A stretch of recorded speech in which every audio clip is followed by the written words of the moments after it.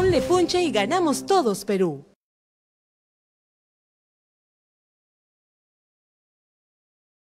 Precisamente para conocer con mayor detalle los proyectos priorizados por su gestión, invitamos aquí al estrado al gobernador regional de Ancash, el señor Coqui Noriega Brito. Lo recibimos con un fuerte aplauso.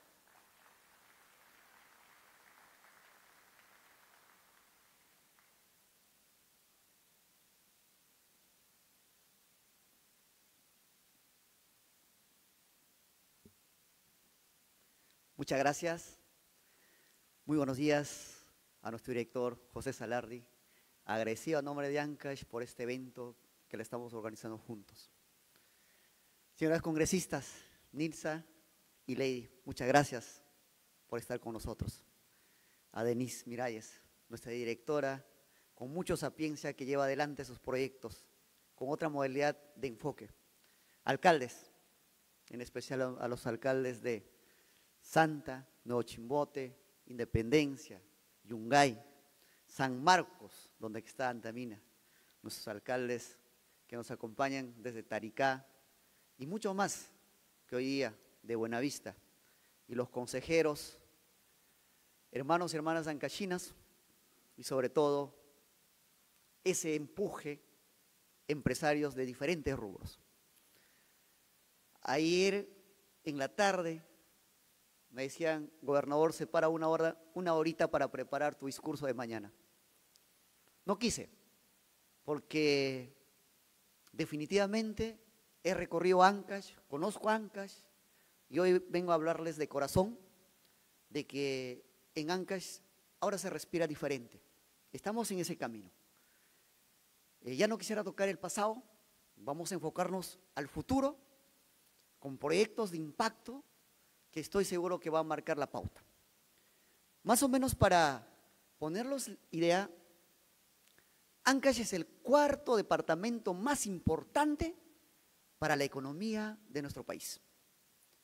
Contribuimos en gran porcentaje en minería, contribuimos en agroexportación con lo poco que hemos hecho y vienen camino proyectos grandes como Chinecas, contribuimos con la pesca, contribuimos con manufactura y sobre todo, ahora que se pone a la palestra, vamos a contribuir con el sector turístico.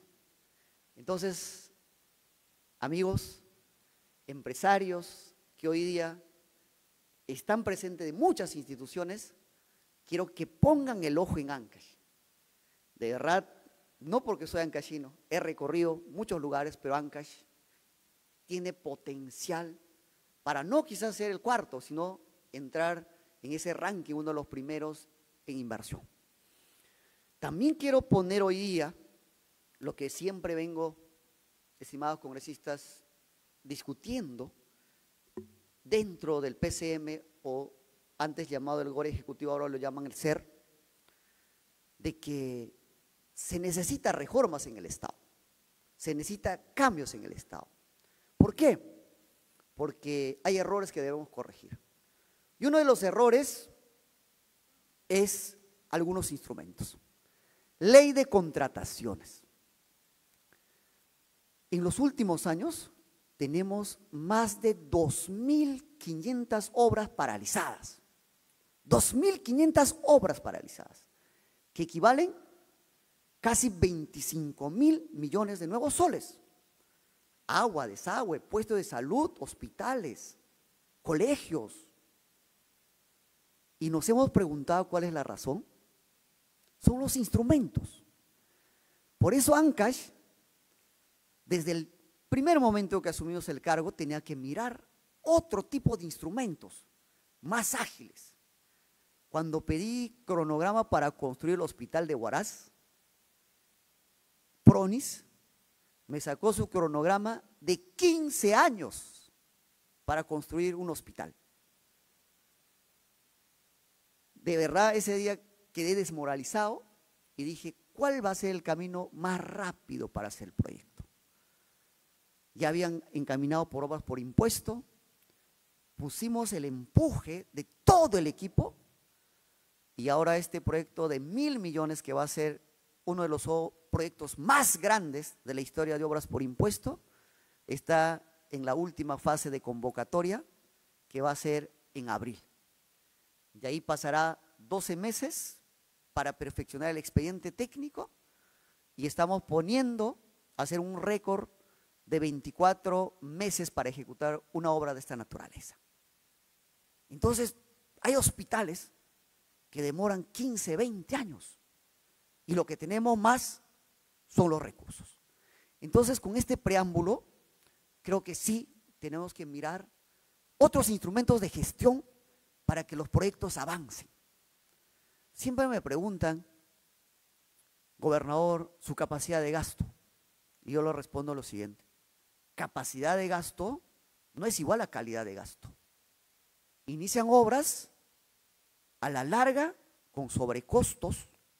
Entonces somos el primer gobierno regional en camino la implementación, otras modalidades que también ya estamos implementando, la oficina de PMO, que se va a aplicarse otro tipo de modalidades y mecanismos para que los proyectos o megaproyectos se construyan como en otros países de primer mundo, rápidos, ágiles y transparentes. Entonces, hoy día quiero mostrarles tres, cuatro proyectos que definitivamente van a marcar la pauta del departamento de Ancash. Acá también a los amigos de la empresa privada quiero ponerlos a la mente lo siguiente.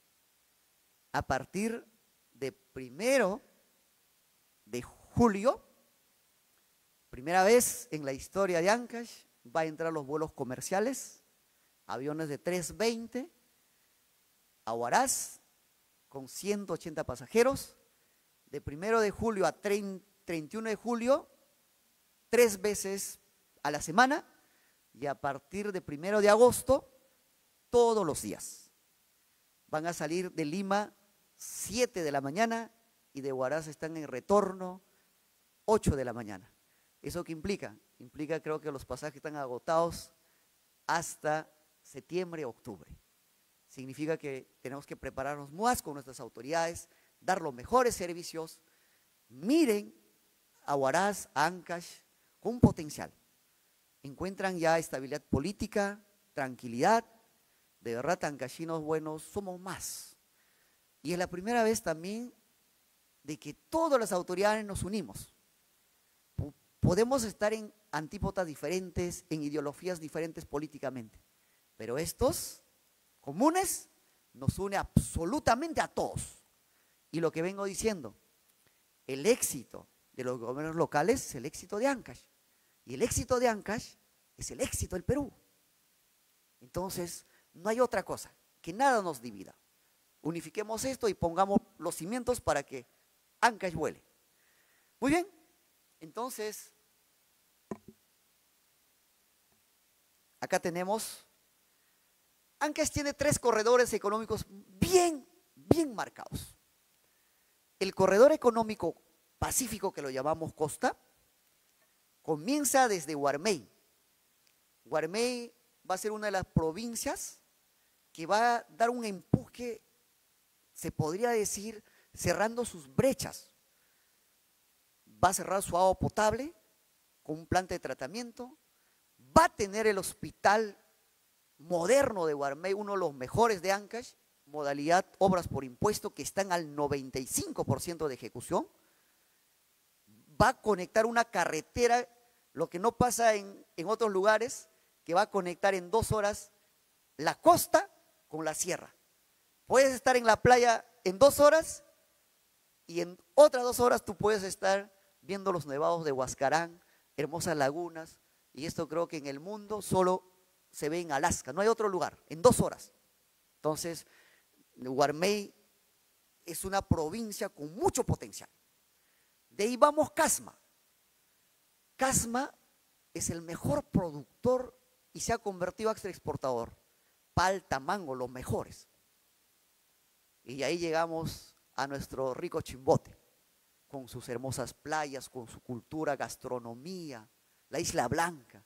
Y ahí está el alcalde de, de, Chimbote y Nuevo Chimbote que van a dar las bondades que tiene. Y el otro corredor económico es Guaylas, histórico. Comienza con la entrada pórtico de Recuay, Huaraz, bordea todo Río Santa, Carhuaz, Yungay, Caraz, histórico, gastronomía hermoso, cultural, intacto mucha cultura y paisaje natural. Lo que podrías, si quieres encontrarte con la naturaleza, no hay otro espacio ahí. Y otro por descubrir, y el jardín de la casa escondido es Conchucos. Callejón de Conchucos. Pomabamba, Chacas, San Luis, Huari. El corredor económico Conchucos todavía de verdad está ahí, como se podría decir, virgen para descubrirlo. Pero hay tres proyectos que hoy quisiera que sepan cómo está ubicado. A ver, a ver estoy acá. Para correrlo. Ahí está. Este, este es el Hospital Víctor Ramos Guardia. Hospital Víctor Ramos Guardia es un hospital que fue creado en los años 70 para atender 20 mil personas. Y ahora la población usuaria que podríamos atender es, según los estudios, es de 600 mil personas, porque ya un gran sector de Huánuco van a Huaraz por la geografía.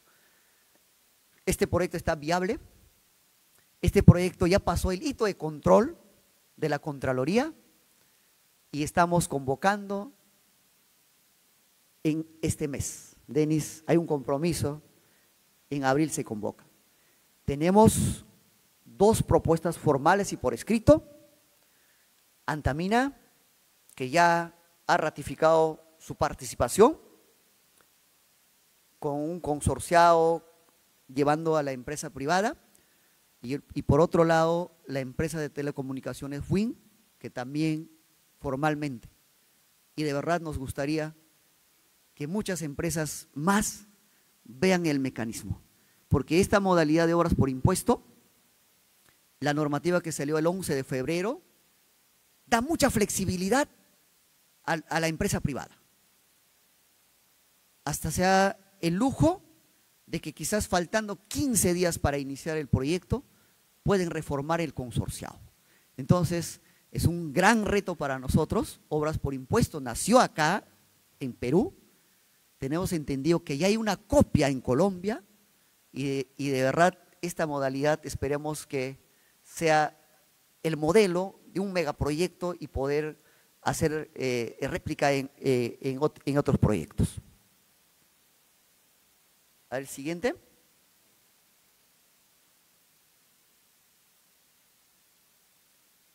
¿Cierto? Lo que decía. Siguiente, por favor.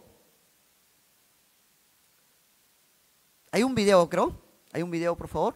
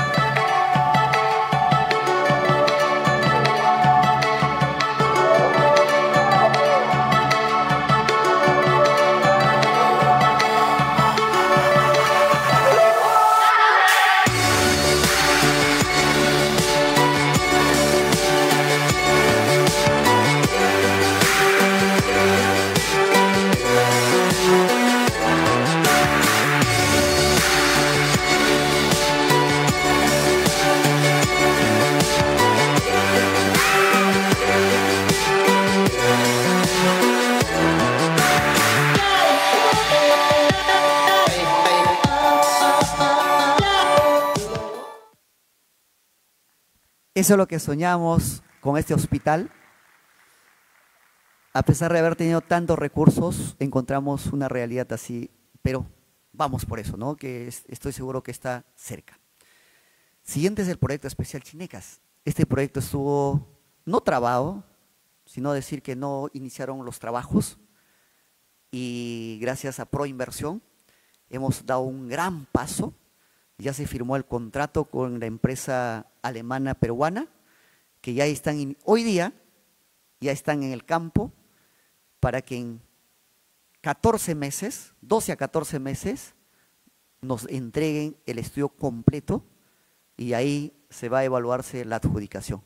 Este proyecto más o menos tiene un importe de 700 millones de dólares de inversión y la modalidad estamos evaluándolo.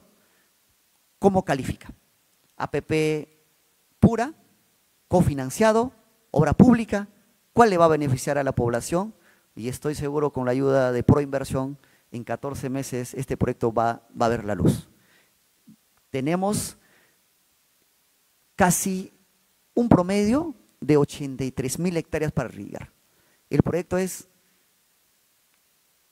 llevar aguas del río Santa a la costa ancashina y poder irrigar todo espacio. Y lo más importante de este proyecto es que todo la zona costera de Ancash es tierra fértil.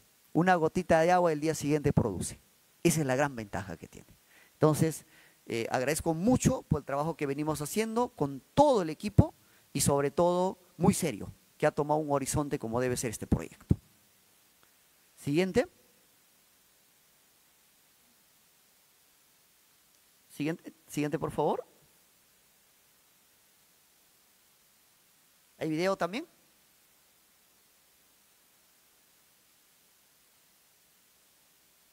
Siguiente. Muy bien, ahí están toda la última que hemos firmado el convenio. La empresa es Consorcio LSH Consulting y Energy SAC y Agua, Energía y Minería, ingenieros consultores que ya están en campo, ya están en pleno trabajo. Siguiente, por favor.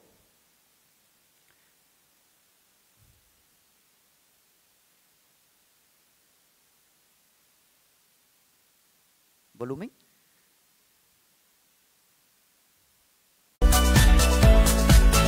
Después de 37 años de olvido, caos y aprovechamiento político, Chinecas se toma en serio. El gobierno regional de Ancash y Proinversión, entidad especializada que ha puesto en marcha otros proyectos como Gallito Ciego, firmaron un convenio histórico que constituye el punto de partida para la elaboración transparente y al más alto nivel técnico de los estudios de preinversión que permitirán construir una nueva bocatoma, represas y contar con más agua para que los agricultores de Chimbote, Santa, Casma y hasta Guarmey puedan irrigar sus tierras. Con la experiencia de la nueva gestión y el aporte de las juntas de usuarios y la sociedad civil, haremos posible el Chinecas que todos anhelamos.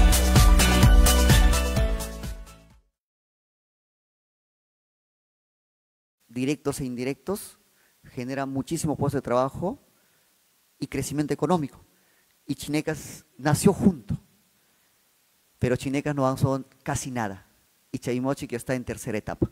Y creo que también eso es una ventaja de que no se haya hecho nada, porque vemos ahí proyectos trabados como Sivas Majes, que tienen como 13 adendas. Entonces vamos a aprender de los errores ellos y ponemos a la cartera de nuestros amigos emprendedores ver chinecas como una posibilidad. Siguiente. Pasamos al puerto de Chimbote. El puerto Chimbote es el único puerto regional que queda a nivel nacional. Y creo que también eso ha sido cuestión de suerte.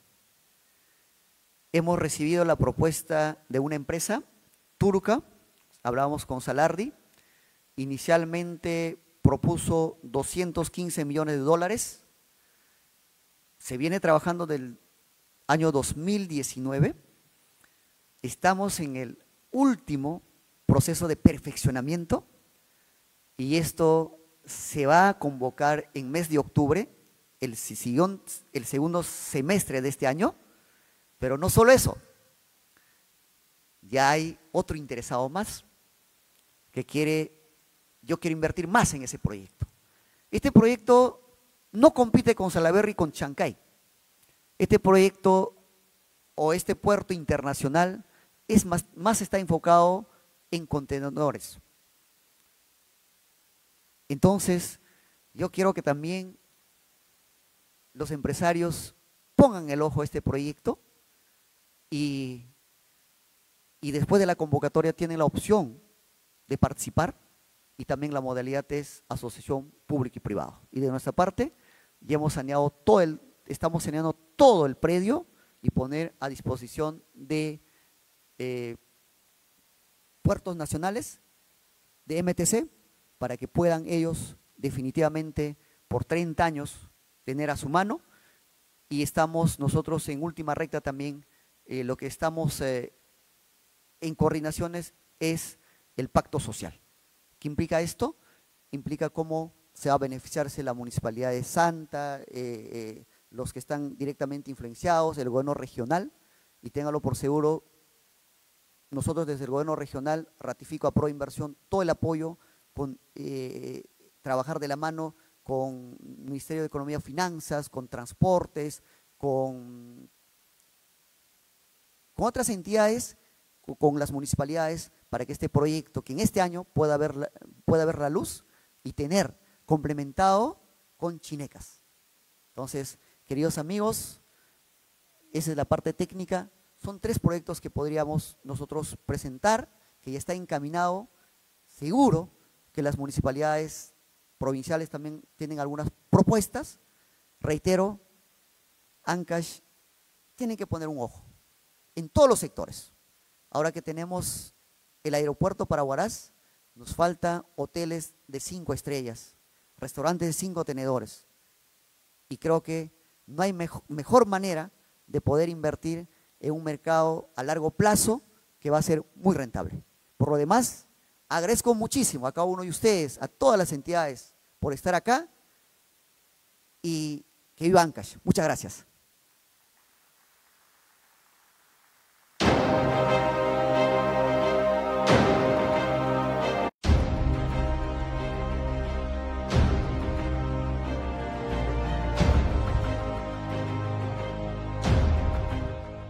En un lugar estratégico de la costa peruana se alza el terminal portuario de Chimbote, un símbolo de progreso y desarrollo desde sus inicios en 1945.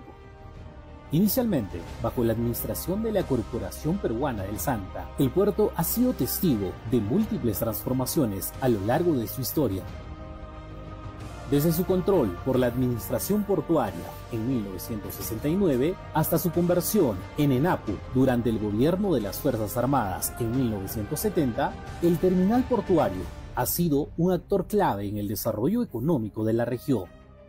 Hoy, bajo la administración del gobierno regional de Ancash, el puerto se encuentra en una nueva etapa de crecimiento y modernización con una propuesta técnica ambiciosa, el terminal portuario se prepara para dar un salto cualitativo en su capacidad operativa.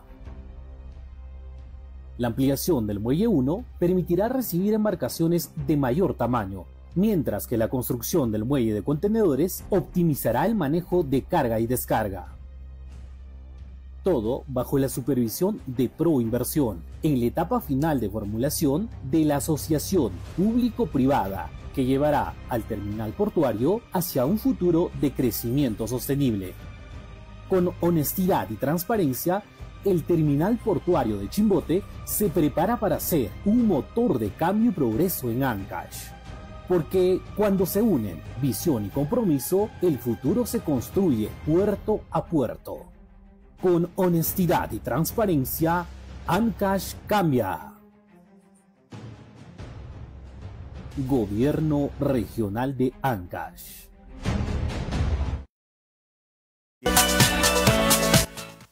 Bien, eh,